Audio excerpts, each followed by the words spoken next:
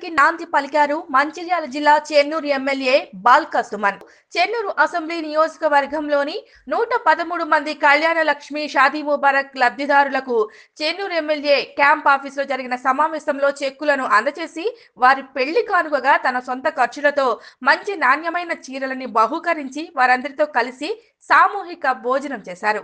ఈ కార్యక్రమంలో మంచిర్యాల జిల్లా కలెక్టర్ భారతి హొలికేరి మరియు ZP chairperson Nallala Bhagyalakshmi MLC Puranam Satish ICDS coordinator Atti Sarojana జిల్లా గ్రంథాలయాల చైర్మన్ ప్రవీణ్ చెన్నూరు భీమార్ జైపూర్ కోటపల్లి మందమర్రి మండలాల తహసీల్దార్లు ఎంపీపీలు జెడ్పీటీసీ ఎంపీటీసీ సభ్యులు సర్పంచులు పాల్గొన్నారు.